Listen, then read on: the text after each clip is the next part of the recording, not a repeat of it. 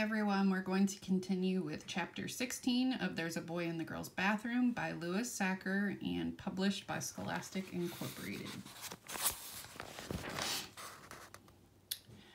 Bradley walked slowly, holding his hand over his eye so nobody would see it. His mother would have let him stay home from school, but his father said he had to go. He's scared, his mother had said. Some bullies have been terrorizing him. Babying him will not solve the problem, said his father. He has to learn to stand up for himself and fight back. The only reason the bullies pick on him is because they know he's afraid. Bradley was afraid, but not of hmm. bullies. He wasn't scared of Melinda either. It was little Lori Weston who scared him. He could picture her standing in the middle of the playground with her big mouth shouting for the whole world to hear. Melinda Birch beat up Bradley Chalkers and made him cry. Cautiously, he walked across the schoolyard, hand over eye, and entered Mrs. Ebbel's class. He sat down on the last seat of the last row. Jeff's chair was empty. Good, he thought, still covering his eye. He probably got kicked out of school. Out of his uncovered eye, he looked at the chart full of gold stars on the wall next to him. He was glad he didn't have any. He thought gold stars were ugly. Mrs. Ebbel was in the middle of teaching the difference between adjectives and adverbs when she suddenly stopped and asked, Bradley, is there something the matter with your eye? No, then please take your hand away from it. I can't, he said. Why can't you? He quickly tried to think of a reason why he had to keep his eye covered. His mind raced through a hundred ideas. My hand's stuck, he said.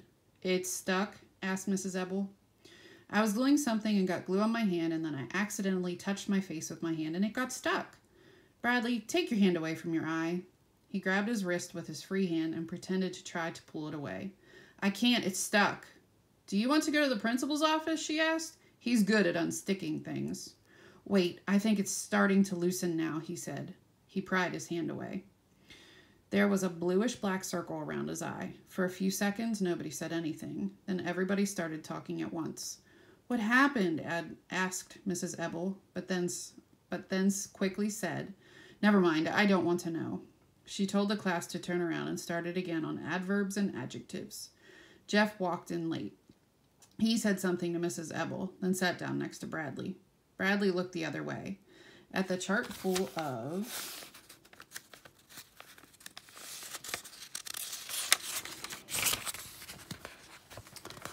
gold stars. Of all the stars, Jeff's were the ugliest. For once, he wished he sat in the front of the room. Then only Mrs. Ebbel would have been able to see his face. Where he was, everyone could turn around and stare at him. All morning, Mrs. Ebbel had to keep telling kids to turn around and face front. When the bell rang for recess, he put his hand over his eye and hurried outside. He went to the far end of the playground where nobody would bother him. But the word quickly spread that Bradley Chalkers had a black eye, and kids kept wandering past him, trying to get a peek. Melinda fights dirty, said Jeff, coming up behind him. She hit you when you weren't looking, and you couldn't hit her back because it's impolite to hit a girl. Right, said Bradley, turning around. I would have punched her face in, except it's impolite. Melinda probably told the whole school that she beat me up. She's so stupid. No, I don't think she told anybody. After you left, she asked me not to tell anyone what happened. She made Lori and Colleen promise not to tell, too. She's probably afraid I'll punch her face in, said Bradley. Probably, said Jeff. Then, this morning, I was called into the principal's office. He thought I was the one who hit you. What'd you tell him? Bradley asked. Jeff shrugged. I told him you're my best friend. The principal's stupid, Bradley agreed.